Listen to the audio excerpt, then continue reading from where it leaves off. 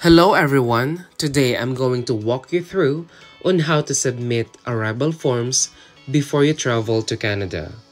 Please note these documents must be submitted at least 5 to 10 days before you depart from your home country.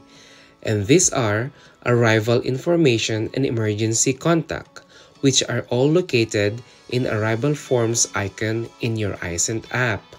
Once you have completed these forms, Sault College will send you an important email with details outlining your next steps once you arrive in Canada.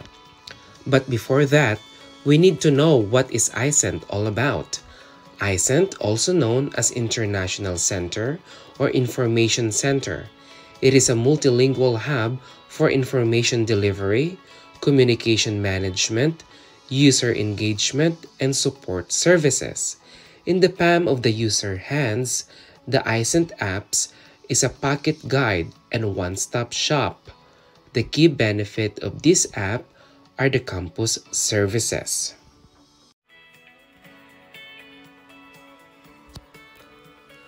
On the screen at Sault Ste. Marie campus, there are lots of icons that are all pretty helpful for all the international students like me. You can meet the peer ambassador leaders. These are all international leaders that could help you before and after you arrive here in Sault Ste. Marie. And then, you will learn about immigration updates, post-arrival checklist, health and wellness, transportation and parking, accommodation, events, student support, campus services, safety and security, COVID-19 vaccines, and supermarket. This app also feature a 24-7 iCent chat desk by clicking the three bars at the lower right of the screen. You will see the chat icon just after the notification.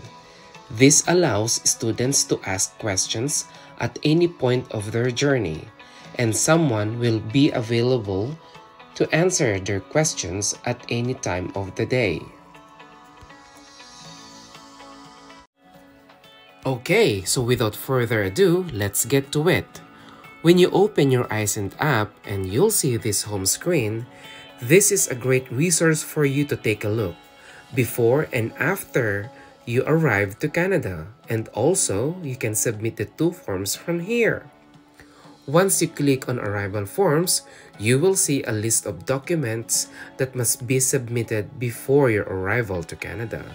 Today, I'm going to walk you through on documents that you have to be submitted before you travel. First, click the Arrival Forms icon and then click the Sault Ste. Marie Taxi on arrival. In this form, please submit the correct details of your arrival information to Sault Ste. Marie with the following. First, please provide us with a phone number where we can contact you. Two apps can be accessed on Wi-Fi in airports and most buses, and these are WhatsApp and WeChat. We highly recommend that you install them on your phone. Next, the date of arrival to Sault Ste. Marie. We required at least three working days notice to plan and confirm a ride for you. Next, the time of arrival.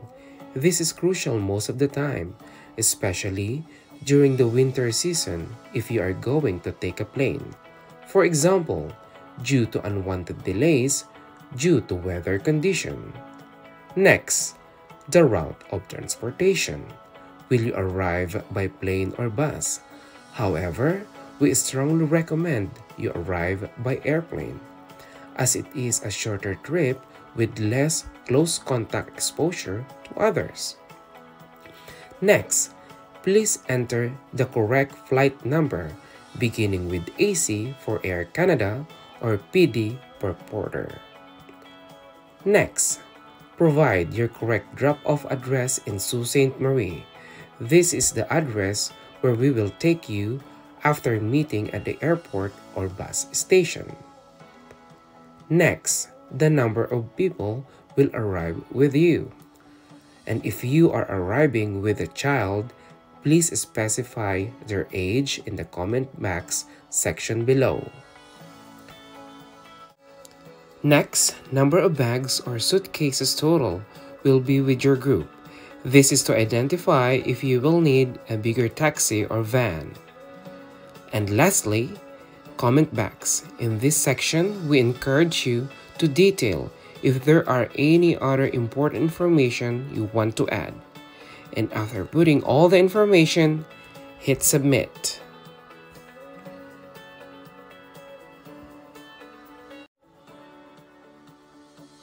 Next, click the emergency contact form. In this form, please make sure to provide as much information as possible. And also, there should be someone we can contact in an event of emergency. Whether this is a family member or a friend in Canada, that is much preferable. If you don't have someone in Canada, please leave a number and the name from your home country. Once you fill out, hit submit. And you will receive an email to confirm your submission of the emergency contact form. So that's it. Please remember to submit these forms at least 5 to 10 days before you travel to Canada so that we can register and give you proper assistance before and after you arrive. Have a safe trip and we look forward to seeing you soon.